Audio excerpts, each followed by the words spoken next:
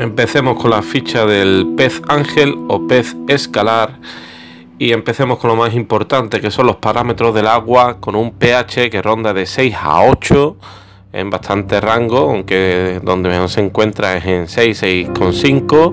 Un GH también bastante con bastante rango, que son de 5 a 13. Y luego una temperatura entre 24 y 30 grados, siendo 24-25 la mejor para ellos. El origen, pues bien, son de América del Sur, se pueden encontrar algunas cuencas, algunos ríos de allí. Pueden vivir entre 5 y 8 años dependiendo las condiciones en que los tenga. Son peces pacíficos y sociables aún con otras especies, pero en la fase de reproducción, como buenos cíclidos americanos que son, se vuelven muy territoriales y un poco agresivos con los demás peces.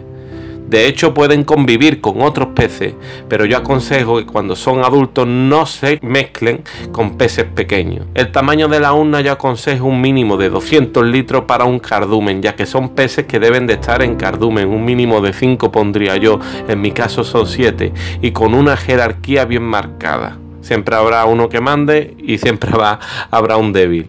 A estos bichitos les gustan los acuarios con abundante vegetación y amplias zonas libres para nadar. Yo le tengo puesto gallineria, espada amazónica, etc. La alimentación de este pez pues es un pez omnívoro y para su correcto desarrollo lo mejor es la alimentación viva. En esta especie en casi todas pero en realidad estos peces comen de todo, también alimento seco con escamas, que es lo que hago yo. Yo suelo alimentarlos de pequeño de 3 a 4 veces diarias, intercalando estos varios alimentos, ya sea congelado, escamas, gránulos, seco. Y por último la reproducción, que no es nada difícil, al contrario, es bastante fácil. Las parejas se forman entre los grupos de escalares. Nos damos cuenta de la pareja ya formada porque comienzan a defender una zona ahí en el, en el acuario y tú ya te estás dando cuenta de que ellos dos están juntos y están para acá y para allá.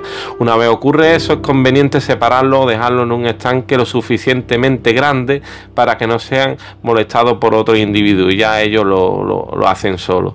De todas formas, la hembra comenzará a poner sus huevos sobre una superficie plana y lisa que lo mejor es que nosotros ayudemos a, que eso ocurra y bueno, es importante que, que, el agua esté muy limpia y una temperatura que ronde los 28 grados. Ya va todo solo. Pues bien, hasta aquí lo poquito que sé sobre este pez, espero os haya ayudado. No quiero extenderme mucho más y nada, muchísimas gracias.